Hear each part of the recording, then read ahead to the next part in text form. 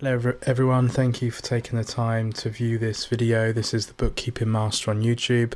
In this video and the videos following, I'm going to show you how to create a bookkeeping spreadsheet on Excel, so to record your income and expenditure and also create a profit and loss statement and balance sheet. Um, the balance sheet and the profit and loss statement will be updated automatically for you. So the final product will look something like this. So I'm going to start from scratch. I've opened a new Excel page up and I'm just deleting the old one I had up, the example. No need to save that.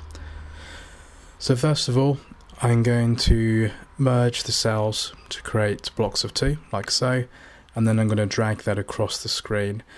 I'm going over to about AH and that should be plenty of space of what I'm demonstrating today and I'm going down as far as about 70 72 lines down and that should be plenty of space. You may need to make yours a lot smaller or a lot bigger than this depending on what business you have and the amount of transactions you do every month.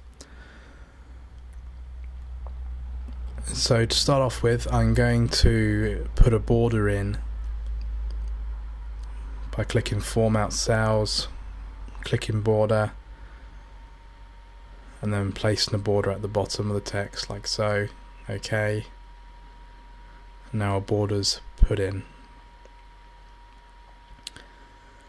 Next, I'm going to put the date and description. This video, just so you're aware, is to set up the actual template. And the videos following, I will show you the equations that will need to be put in and how the spreadsheet works. But just in this video I'm showing you how to set up the, the template.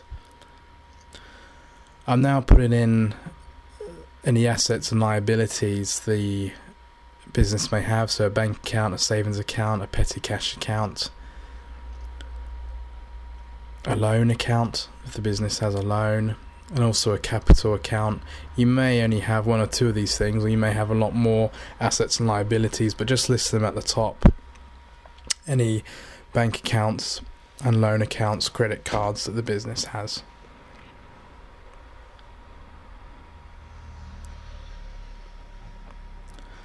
And then I've got a box at the end, which is the total. After that box, I'm putting in another border which will show on the right.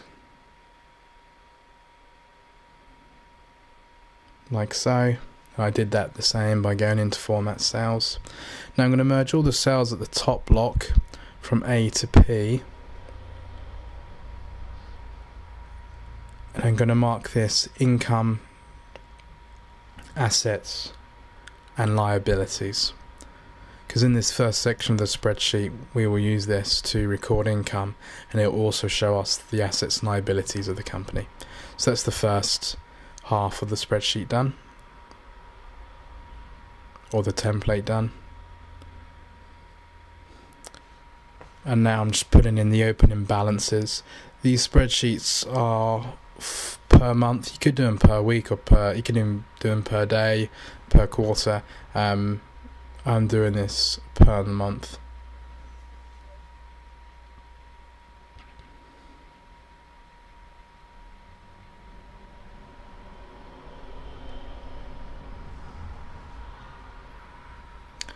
I'm now putting in date and description. This second half of the spreadsheet will be for expenditure. Now I'm only going to put the assets down in the expenditure section which I will be making expenses from. So that will be the bank account and the petty cash account. You could put a company credit card down if there was a credit card or any other accounts that expenses are made from.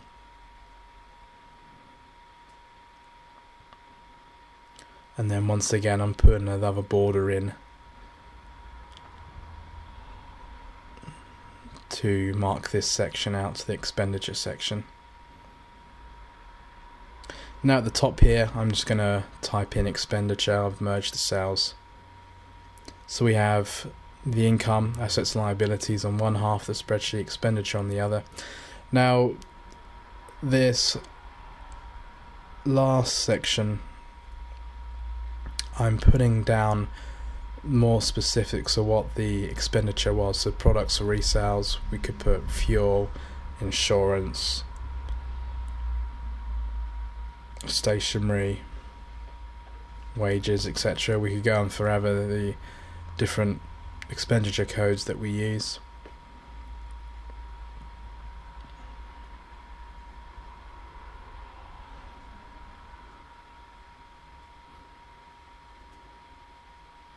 But I think that will be enough what I want to demonstrate in this video.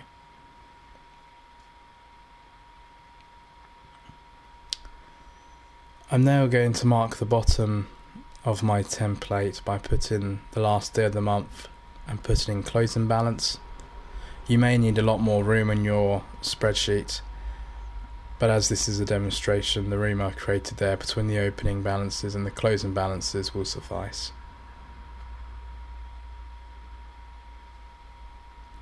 and I'm marking the closing balances off by putting a border in like so. The spreadsheet's looking quite neat.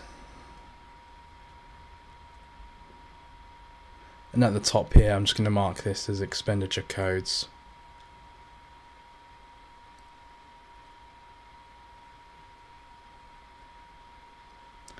That's it for this video. In the next video I'm going to show you how to put in equations um, and develop this spreadsheet further.